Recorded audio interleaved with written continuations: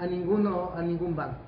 No así nuestra cooperativa, que es la única en el Ecuador, que en nuestra provincia le hemos superado a todos los bancos que están asentados en la provincia de Pastaza. ¿Se mantendrá el mismo horario de atención los fines de semana, ya que hay mucha gente que sale del interior, de la zona rural, y se cierra la una, tienen hasta la una, hasta las cuatro? Pues. Bueno, yo le quiero decir una cosa, que antes ninguna institución financiera atendía los domingos. Ninguna, ninguna. La CASPE Pastaza fue la primera cooperativa que empezó a atender los 365 días del año, sábados, domingos.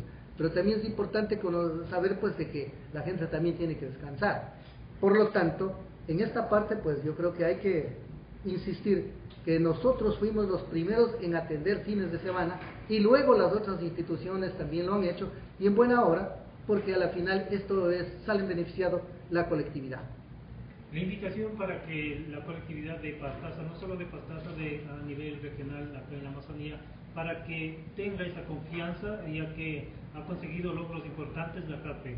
Sí, realmente yo creo que es importante saber que la CAPE Pastaza ha sido la única cooperativa que ha sido invitada a un evento de carácter mundial. Fuimos invitados en el año 2000 y por eso yo quiero hacer una invitación a, a los socios para que participen en esa rifa y aquellos que no son socios a que abran su cuenta de ahorros porque yo creo que la gente que trabaja con la Carta Pastaza realmente es la que está apoyando al desarrollo socioeconómico de la provincia.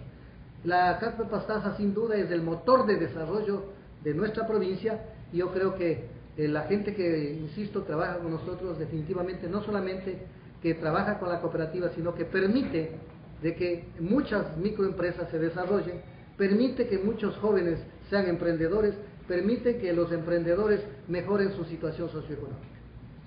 ¿Es posible los requisitos para que puedan abrir una Los requisitos para abrir una libreta de ahorro son simples. Copia de la cédula, papeleta de votación, un recibito de luz, agua potable y 20 dólares de ingreso. Eso es lo que necesitan y por favor una vez más eh, hago un llamado muy cordial para que los socios de la CACPE Pastaza ahorren la CACPE Pastaza y puedan ser partícipes de este importante evento de la rifa en donde tienen oportunidad de, de ganarse cualquiera de estos carros y también los otros electrodomésticos que también estamos rifando. La última pregunta, doctor. Eh, bueno, muchos indican que ahorran los ciudadanos. ¿Qué porcentaje tienen de utilidades, es decir, que ganan en, en ahorro? Ya. ¿Y qué porcentaje cobra en préstamos? Bueno, el asunto es de que nosotros cumplimos lo que dice la ley. La ley nos da ciertos parámetros y nosotros estamos eh, cobrando los intereses de acuerdo a lo que dice la ley, enmarcados en la ley. Y gracias por la pregunta, porque el interés realmente depende, porque no puedo decirlo, eh, porque son segmentos. El interés de vivienda es uno, el interés de consumo es otro, el interés de microcrédito es otro. Dentro del microcrédito hay tres segmentos el microcrédito simple, el compuesto y bueno, una serie de, segmentos del asunto del, interés.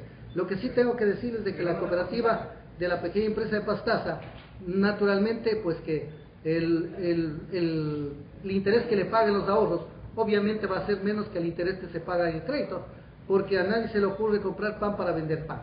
De todas maneras, nosotros tenemos una utilidad razonable que nos ha permitido continuamente eh, progresar a nuestra institución.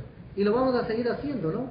Entonces, eh, yo creo que es importante que conozcan que nosotros manejamos las cosas de manera absolutamente técnica